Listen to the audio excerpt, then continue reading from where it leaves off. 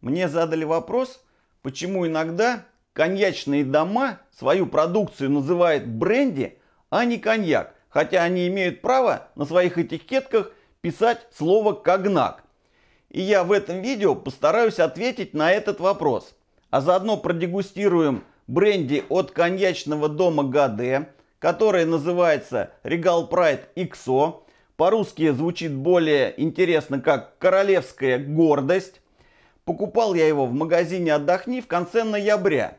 И стоила она тогда по акции 950 рублей. Но сегодня я зашел на сайт «Отдохни» и немножко по другой акции оно стоит 1350 за 0,7. Итак, давайте нальем бокал и продолжим. За новогодние праздники гости у меня немножко выпили его. Поэтому осталось в бутылке совсем немного, но нам даже это на руку бренди хорошенько продышался. Итак, почему же нельзя называть это когнак, а называют это бренди? Потому что коньячные дома иногда хотят тоже удешевить свою продукцию, чтобы она, ну что, всем же нравится, когда э, ты покупаешь что-то дешевое, но вкусное. Вот и они тоже хотят сделать что-то дешевое, но вкусное. Но тогда им приходится отступить от конечной технологии производства. А если они отступают от конечной технологии производства, то они не имеют права назвать свою продукцию когнак. Так что же здесь э, с этим бренди не так? Почему его назвали бренди, а не коньяк?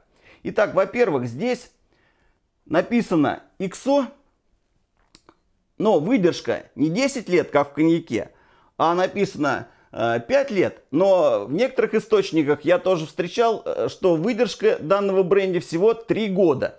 То есть они сделали, изменили технологию производства так, что при выдержке 3-5 лет этот бренди по вкусу ароматики стал похож на коньяк десятилетней выдержки. То есть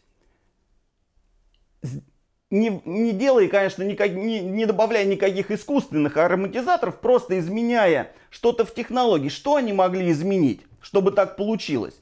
Во-первых, они взяли другие сорта винограда, более ароматные.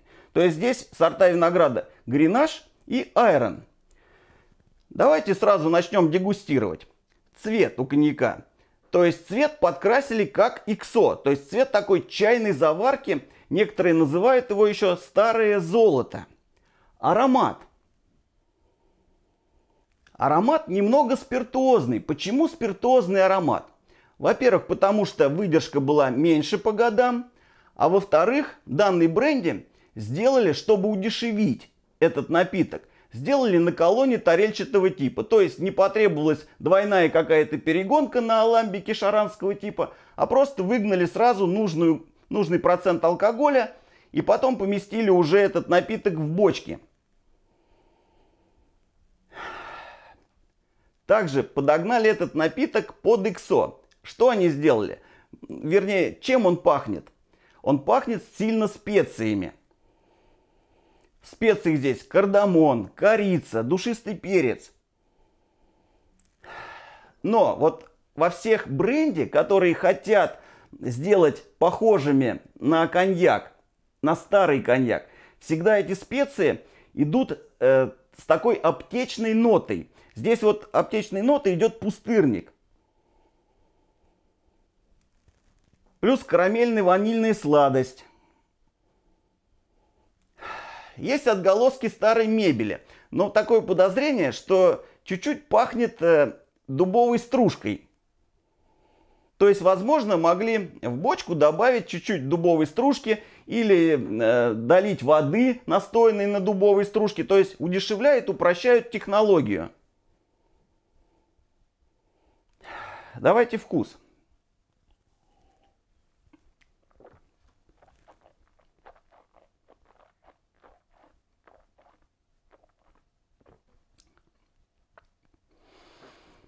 Вкус жгучий. Во вкусе тоже какая-то аптечная микстура. Бальзамность.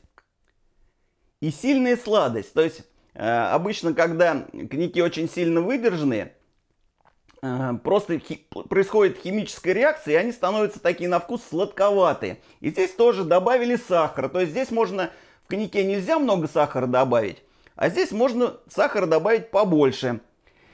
И для чего же делают этот коньяк? Как его пьют? За границей тоже есть э, люди, которые хотят что-то выпить дешевенькое и не заморачиваться.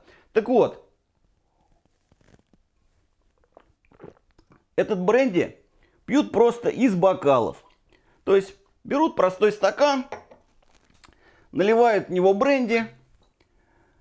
Можно пить чистым, можно добавить лед, можно его э, добавить какие-то, сделать на основе этого бренди какой-то коктейль. В послевкусии намек на шоколад, какая-то карамель.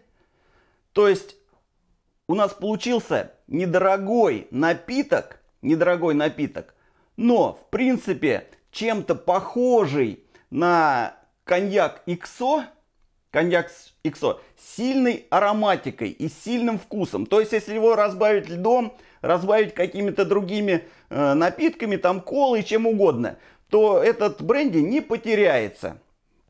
Ваше здоровье! Сегодня старый Новый год. За вас, ребята!